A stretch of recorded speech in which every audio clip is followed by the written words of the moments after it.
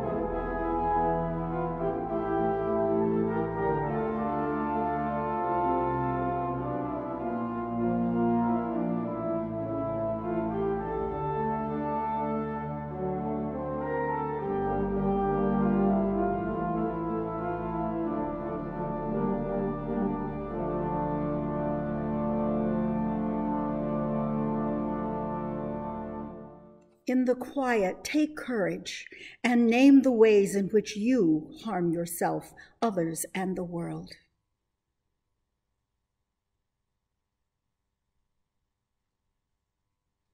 Together, these are the concerns and cares with which we come before you, God. We bring them with a sense of trepidation and trembling, yet with hope in your steadfast compassion. We present to you the whole truth of things. Amen. We brush up against the life giving grace of God as we make amends and ask forgiveness and seek restoration. You are enfolded by the restorative grace of God. In this act of faith, may you find peace and be restored to life. The risen Christ be with you and also with you. You are invited to turn to the people around you and wave as a sign of graceful greeting this day.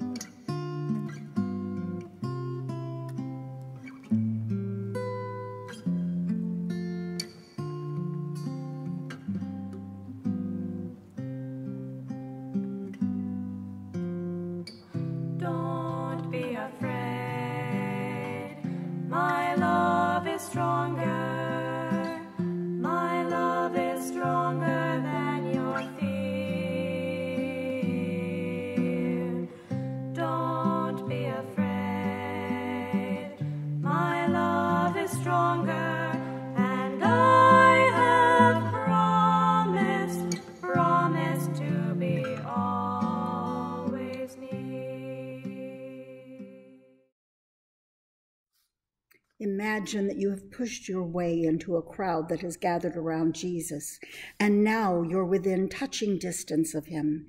Instinctively, you know that just by touching the hem of his robe, your life will be restored, changed forever. For what are you longing? From what would you choose to be restored? Hold on to these thoughts while the gospel is read. A reading from the Gospel of Mark, chapter 5, verses 21 through 43. Jesus crossed the lake again, and on the other side a large crowd gathered around him on the shore. Jairus, one of the synagogue leaders, came forward. When he saw Jesus, he fell at his feet and pleaded with him, My daughter is about to die. Please come and place your hands on her so she can be healed and live. So Jesus went with him. A swarm of people were following Jesus, crowding in on him. A woman was there who had been bleeding for 12 years. She had suffered a lot under the care of many doctors and had spent everything she had without getting any better. In fact, she had gotten worse. Because she had heard about Jesus, she came up behind him in the crowd and touched his clothes. She was thinking, if I can just touch his clothes, I will be healed. Her bleeding stopped immediately, and she sensed in her body that her illness had been healed. At that very moment, Jesus recognized that power had gone out from him. He turned around in the crowd and said, Who touched my clothes? His disciples said to him, Don't you see the crowd is pressing in on you? Yet you ask, Who touched me? But Jesus looked around carefully to see who had done it. The woman, full of fear and trembling, came forward, knowing what had happened to her. She fell down at Jesus' feet and told him the truth. He responded, Daughter, your faith has healed you. Go in peace, healed from your disease. While Jesus was still speaking with her, messengers came from the synagogue leader's house, saying to Jairus, Your daughter has died. Why bother the teacher any longer? But Jesus overheard their report and said to the synagogue leader, Don't be afraid, just keep trusting. He didn't allow anyone to follow him except Peter, James, and John, James' brother. They came to the synagogue leader's house and saw a commotion with people crying and wailing loudly. He went in, Jesus went in and said to them, What is all this commotion and crying about? The child isn't dead. She's only sleeping. They laughed at him, but he threw them all out. Then, taking the child's parents and disciples with him, he went into the room where the child was. Taking her hand, he said to her, he said to her, Talitha koum, which means, young woman, get up. Suddenly, the young woman got up and began to walk around. She was 12 years old. They were shocked. He gave them strict orders that no one should know what had happened. Then he told them to get her something to eat. May God empower the word in our hearing.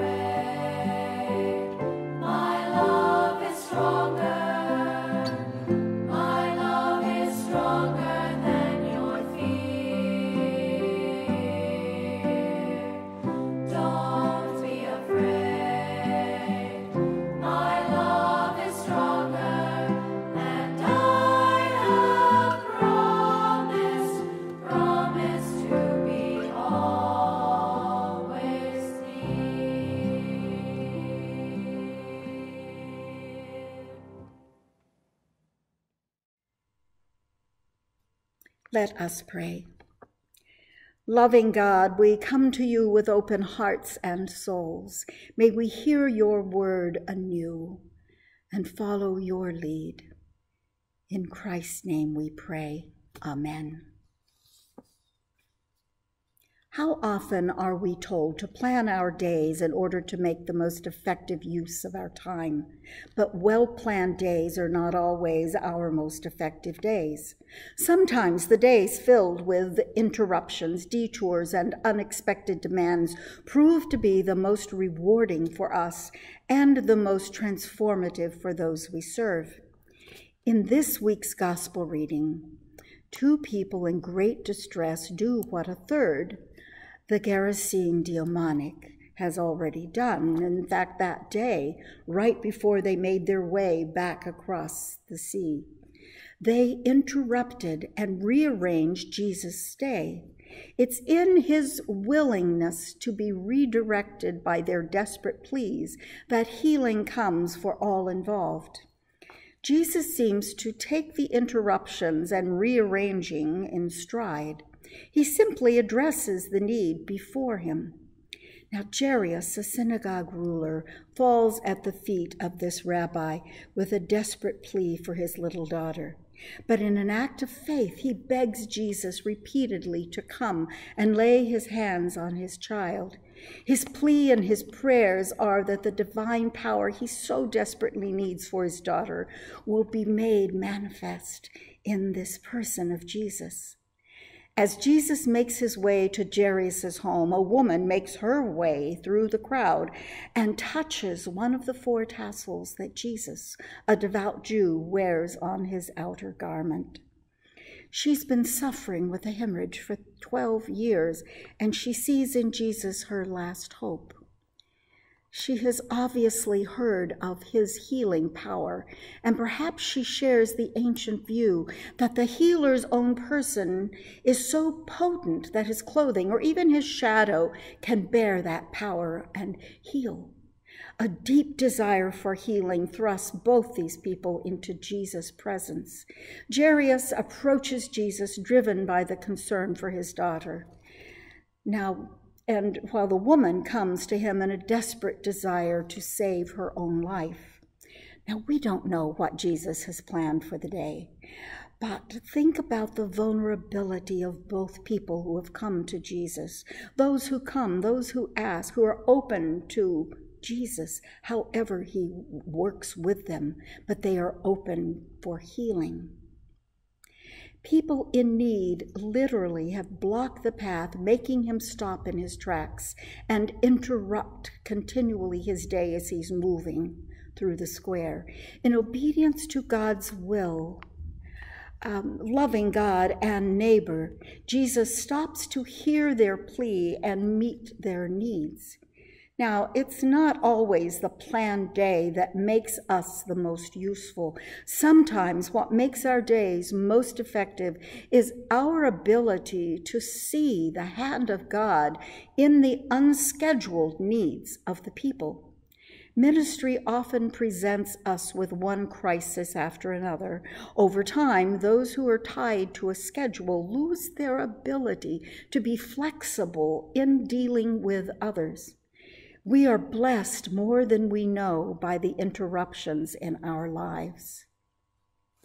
Where do we hear God's invitation, or where have you heard God's invitation to partner in the work of making the world that God so loves whole again? Interruptions truly bless us if only we can take time to discern the presence of God. When we sense God's presence, those interruptions often detour into invitations to partner in the healing of the world.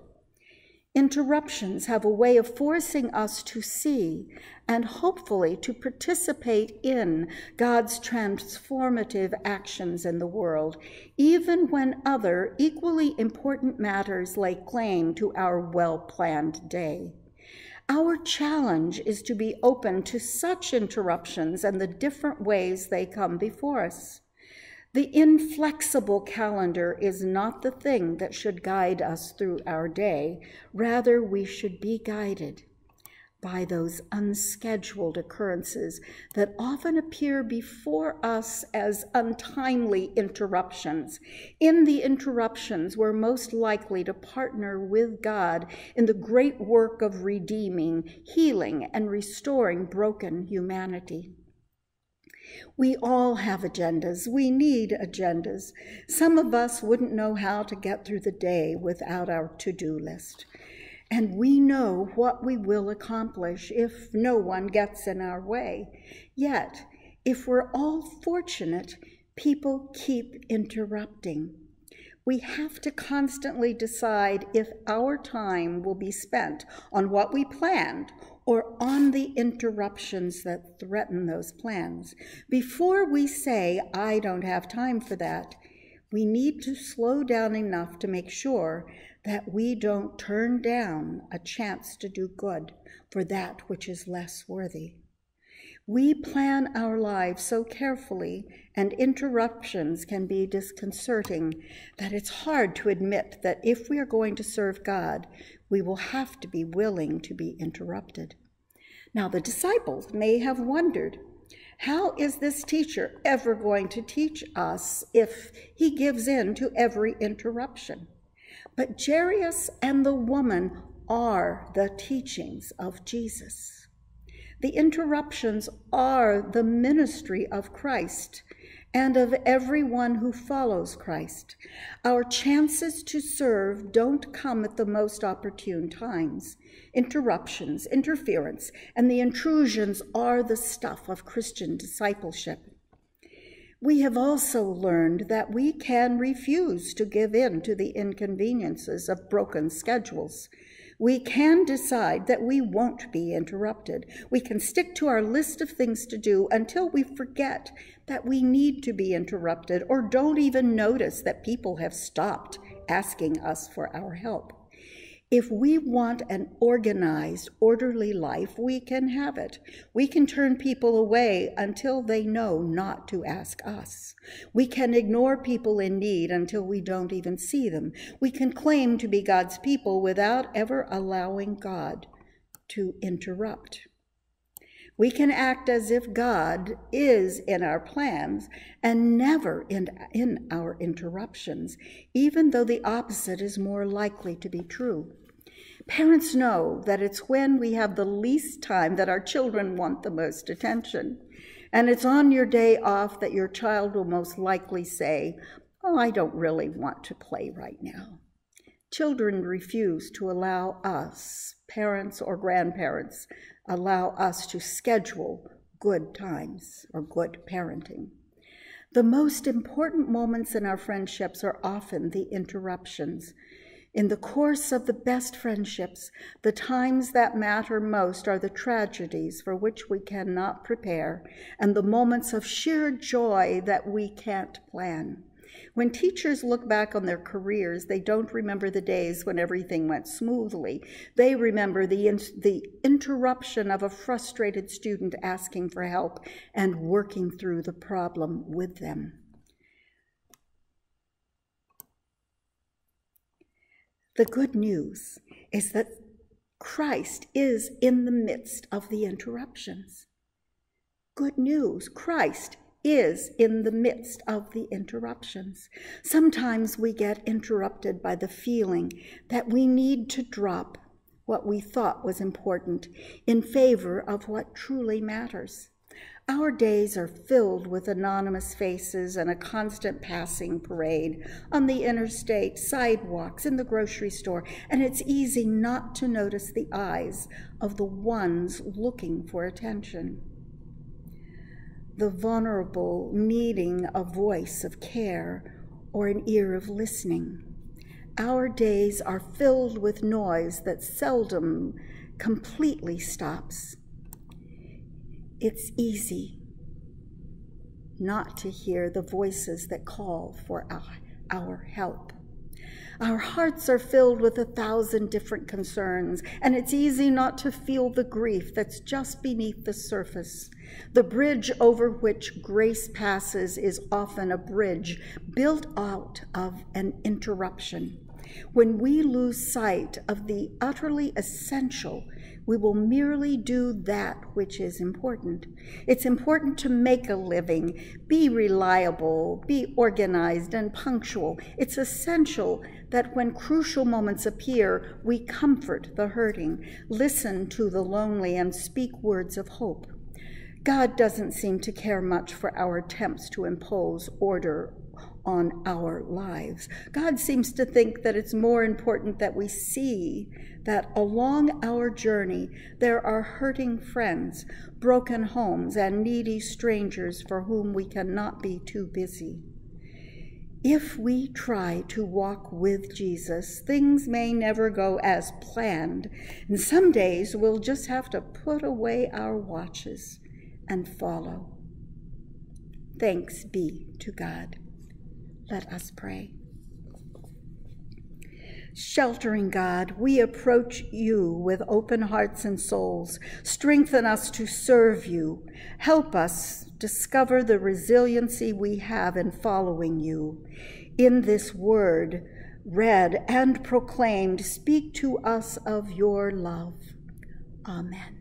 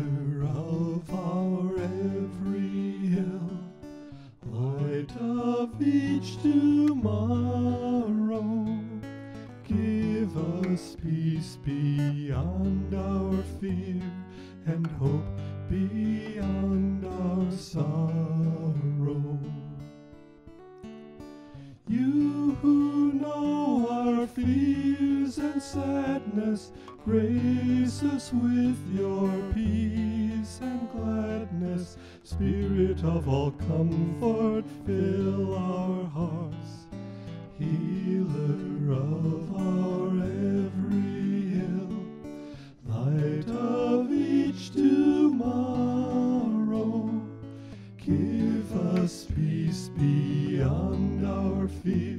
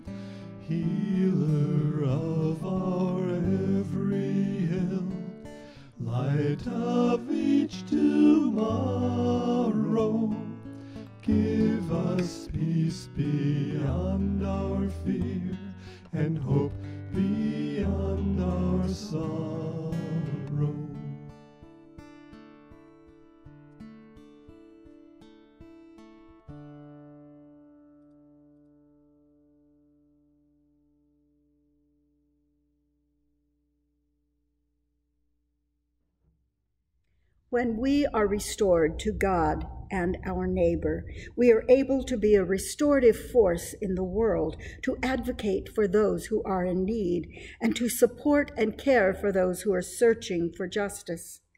I invite you to think about situations in the world, local, personal, or global, that require restoration. And then imagine the grace of God released into each situation before you. Let us give thanks to God. Let us place our needs before God, asking God to join us with the bonds of love. God of Exodus, you led your people through the waters and redeemed them. Thank you for being with us now we join our hearts in prayer with you, O God. God of abundance, in your goodness you provide for all our needs. Be with us now. Help us to rise above selfishness and greed, and give us courage to be the agents of justice in the world. God of love, you created us in your image and have redeemed us in Christ.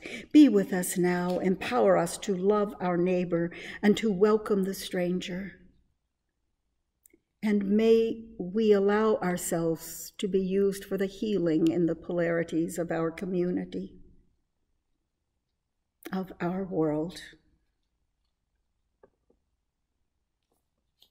God of peace, you remain faithful to your covenant with us even when we wander from you, and in Christ you have reconciled us to yourself. May we feel your presence now and may we thank you for the new spirit and new heart that you offer us daily, that we may reject violence and instead be servants of your peace. God of glory, you are all powerful, yet in Jesus you chose to make your home in a human family, and in the waters of baptism have adopted us as your children. Thank you for your presence and help us to remain faithful to our family commitments and our communal responsibilities and to strengthen the bonds of communion with all brothers and sisters in Christ. God of healing, we lift to your care members of our community, for all those who are ill, for the, all of those who struggle, in need of healing, body, mind, or spirit. We especially lift those on our prayer lists in our congregation and those we lift in our mind and our hearts right now. For you know our needs before we bring those needs and those concerns to our lips. God, one in three persons in Christ, you have made us one with you and one with one another. May we feel your presence now, and by the power and consolation of the Holy Spirit, free us from self centeredness, arrogance, and fear that prevent us from striving toward the full visible unity of your church. We join our hearts in prayer for the world and for ourselves. Lead us now in your prayer. Join our hearts bound by the love of Christ that has been poured into our hearts and pray, let us pray in the words that Jesus taught us, using the form or the language of our hearts. Our Father, Mother God, you who art in heaven, hallowed be thy name. Thy kingdom come, thy will be done on earth as it is in heaven. Give us today our daily bread. Forgive us our sins, our trespasses, as we forgive those who trespass against us. Lead us not into temptation, but deliver us from evil. For thine is the kingdom, the power, and the glory forever and ever. Amen. I invite you to consider your gifts kindness, hospitality, being good with numbers and money, creativity with words or fabric or wood or technology, or imagine you are placing your gifts of self into the offering place and taking with you a reminder of all you have to give. We are still in the midst of ARC for our change for the better, and our mission choice for a new quarter, July, August, and September, is Muhila Falls Agricultural Research Center in Zambia. And there they're addressing hunger and poverty with sustainable agriculture and leadership training. And let us give thanks to God through song.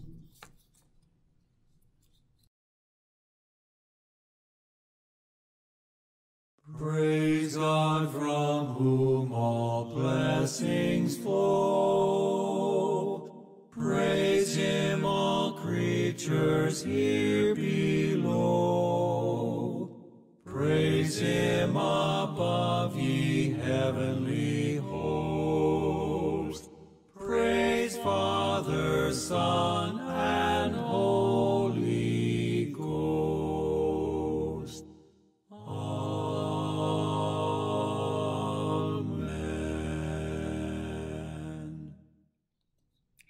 prayer of dedication. Let us share that now.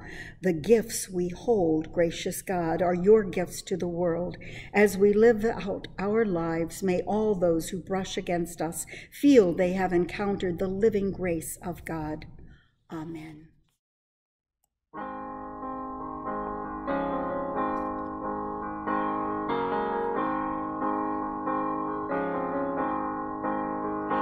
In the heart of the Creator, there are dreams for all to see dreams of justice, truth, and mercy, and of people that are free. And the promise of that freedom shall begin with you and me. God's promise shall not fail.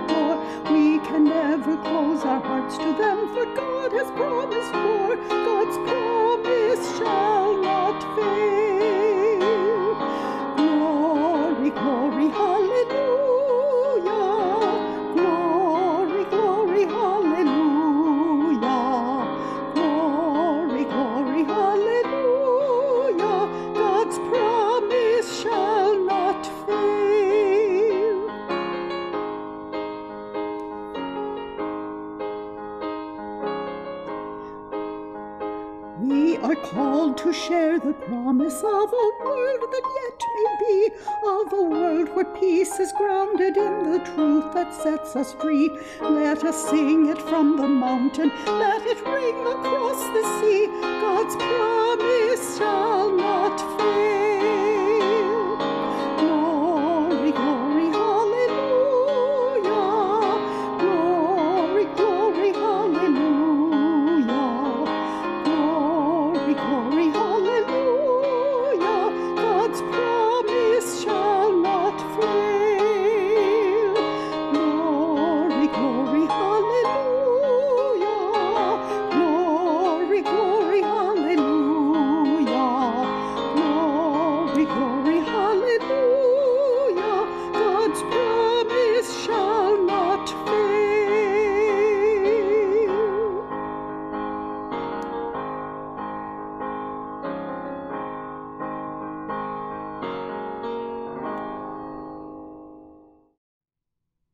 We have experienced the grace of God and once again have been restored to wholeness. Equipped, may we step out into our lives ready to live that grace. Amen. And serve with the blessing of God, our Creator, Christ, our Redeemer, and with the breath of the Holy Spirit. Amen.